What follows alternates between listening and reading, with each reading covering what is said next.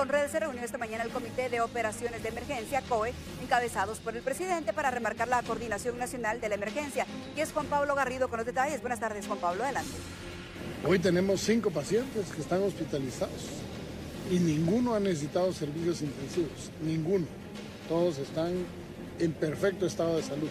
O sea, tienen el virus, pero a no ser unas cuantas manifestaciones, un poco de tos, un poco de fiebre, gente joven, no han tenido ningún problema. Los tenemos aislados porque es lo correcto. Tenemos más de 200 personas en cuarentenadas, con vigilancia. Y eh, no hemos tenido más brotes. Sino que también hay policías aislados. No, no. Hay un policía que se autoaisló. si todos los que han estado cerca de una persona, un kilómetro de una persona que tenga un caso, se van a aislar, miren, de veras, no entiendo ya al policía, pero se autoaisló, él llegó a, decir, mire, yo estuve en contacto con la sobrina del señor que se murió. Y, el pobre policía está firqueado. Lo agarramos y lo pusimos ahí.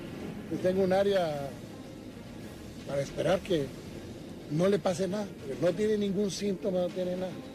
Pero eso es parte de lo que nosotros le debemos decir a la gente. Tuve el caso de una persona en el aeropuerto que dice, ya me contagié coronavirus y se sintió mal y lo tuvimos que llevar.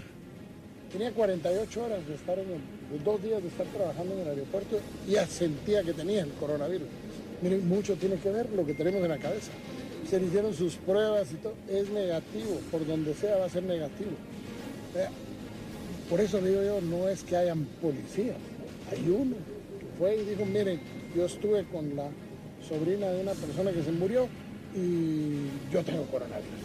Entonces ahí está, lo tengo guardado, no va a tener coronavirus. Casi que se lo podría curar, pero bueno, ni modo.